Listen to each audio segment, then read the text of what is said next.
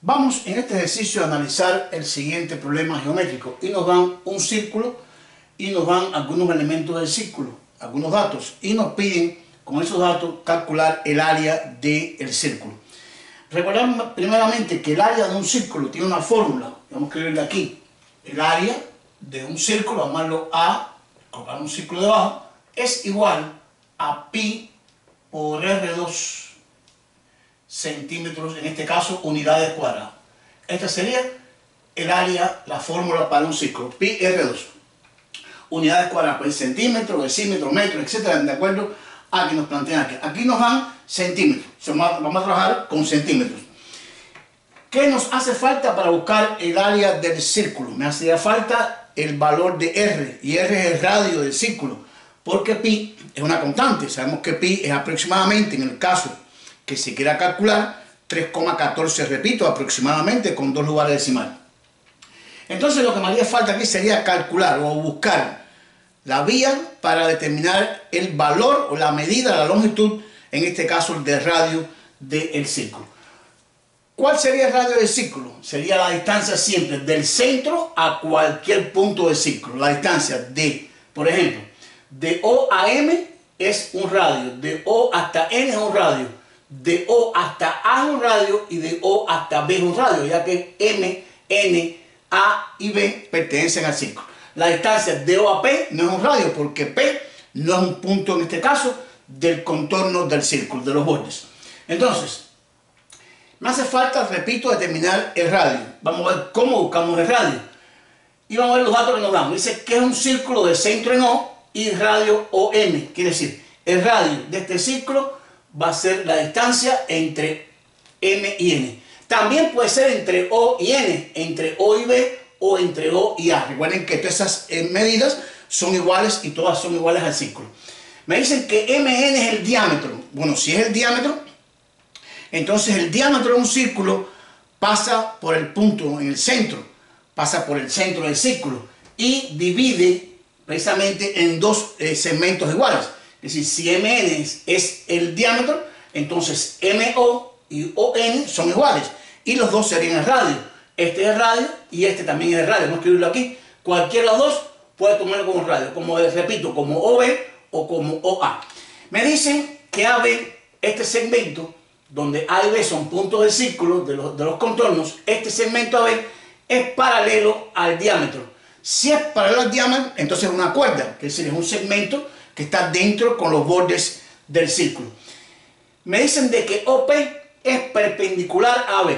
Bueno, si OP es perpendicular a B, entonces este, este ángulo es de 90 grados y este también es de 90 grados. ¿Por qué razón?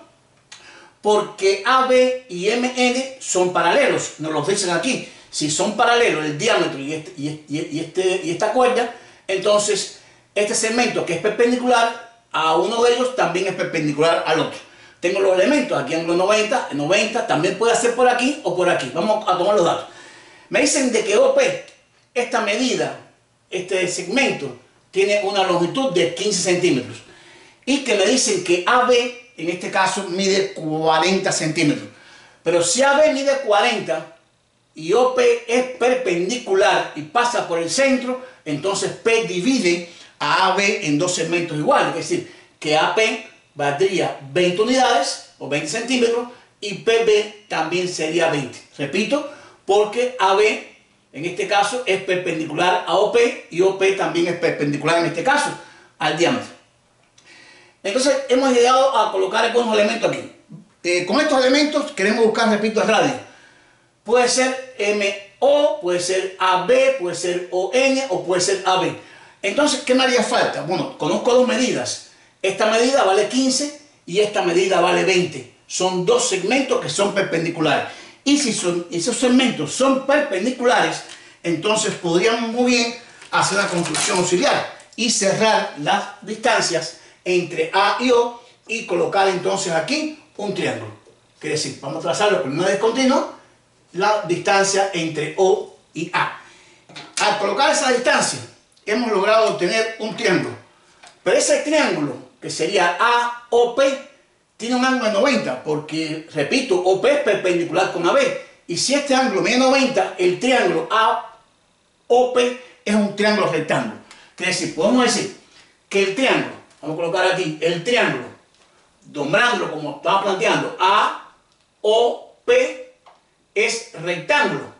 Y precisamente es rectángulo en el punto donde se corta la perpendicular, es rectángulo en P.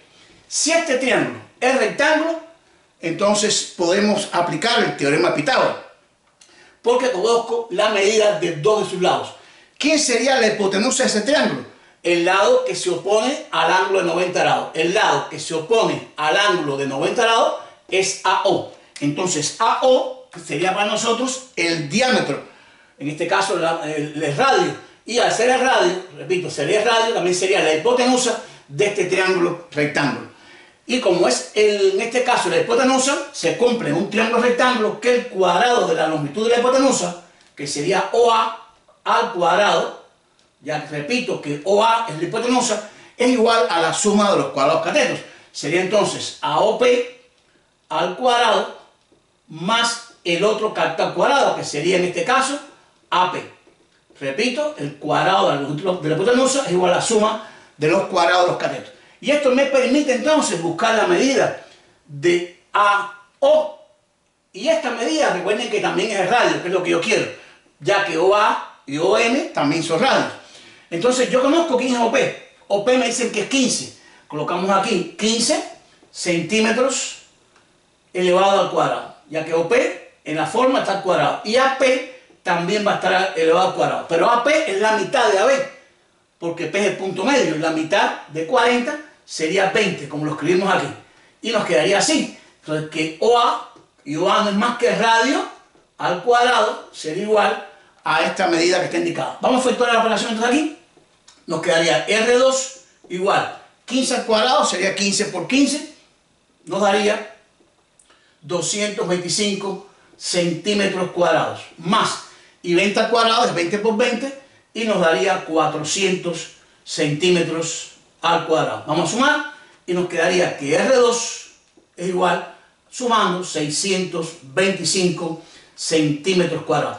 Podemos buscar quién es R. R sería en este caso la raíz cuadrada, recuerden que es positivo, no va a ser más menos, porque es una medida, una longitud, a la medida de 625 raíz cuadrada. Y esa raíz cuadrada es exacta y es igual a 25. Es decir, que el radio va a medir 25 centímetros. Este mide 15, 20 y el radio ya puede ser OA o OM también, recuerden que son igual, mide 25 centímetros. Pero en la fórmula no me hace falta R, me hace falta R cuadrado. Y yo sé que R cuadrado, lo tengo aquí, R cuadrado es 625 centímetros cuadrados. Eso nos quedaría que el área de este círculo sería igual a pi por R2. Pero R2 es 625 multiplicado por pi centímetros cuadrados. Y hemos obtenido el área de este círculo con los datos que nos dan en este ejercicio, que nos dan el diámetro, una cuerda y una perpendicular que pasa por el centro. Espero le hayan entendido, les haya gustado, les sirva como siempre digo para sus estudios. Muchas gracias. Nos vemos en nuestro próximo video.